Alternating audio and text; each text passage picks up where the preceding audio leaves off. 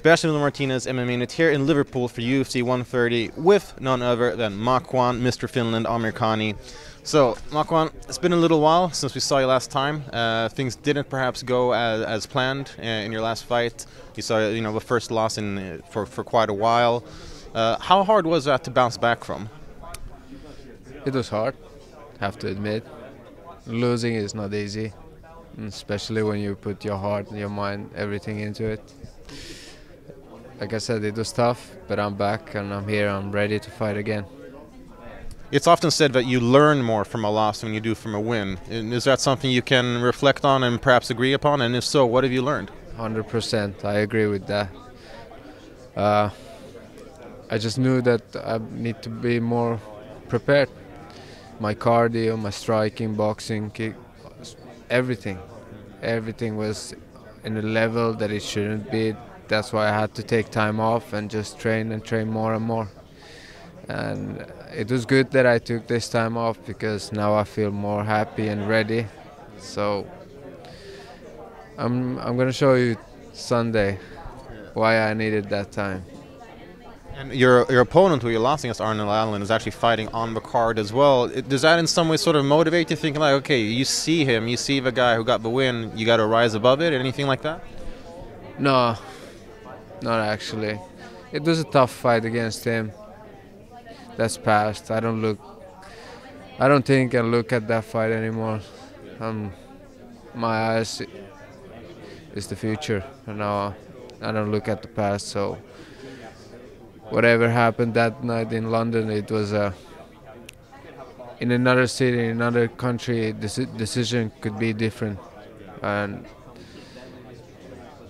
I'm thinking about Jason Knight. He's on my my way. He's the guy that I will beat and whoever will step in front of me next, he will be a victim too. Well, yeah, like you said, next stop Jason Knight. Uh, you know, a pretty, I think you could perhaps say underrated guy. You know, he's you know a solid fighter with some good wins, but doesn't necessarily have the biggest name recognition. Uh, and there's a little bit of a beef between you guys as well. Could you uh, sort of elaborate on the, you know some of the hard feelings between you guys? Nothing personal. Like the guy just is on my way. Um, my goals are for, uh, bigger than him, and he is in my way, and I just have to eliminate him. And I would have the same feeling against anybody who would be in front of me. It's it's not just because it's Jason Knight. He's my opponent. No hard feeling, because I'm gonna break his face. And uh, looking at him as an opponent stylistically, uh, where do you see him as, you know, where do you feel are his biggest strengths? As, you know, things that you maybe, you know, want to keep a little eye on, watch out for? There is none. He has a rubber guard, but if I would be a coach, I wouldn't teach rubber guard to my athlete in MMA it's pretty bad place to be when strikes and elbows and everything is loud. So that is probably his strength.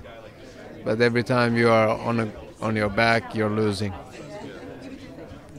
All right. Well, consequentially, then, what do you feel is your biggest advantage in this fight? Everything. Yeah. Yeah, everything. I feel happy. That's my biggest advantage.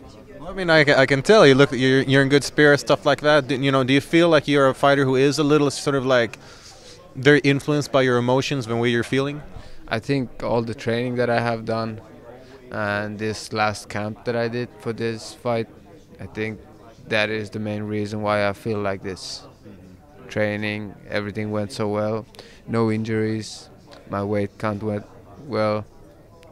I just feel totally prepared for this one. And so coming back, you know, you said you've worked on a lot of things, and uh, you know, you mentioned you know some stuff that's you know you needed to work on a bit. What is this, you know, this new Makwan? What should fans expect from your big triumphant return on Sunday?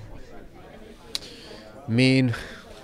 Yeah. That, yeah, that would describe me well. All right. Well, I guess we'll let- let the fighting do the rest of the talking, and I'm sure fans will be looking forward to it when Makwan Amirkhani takes on Jason.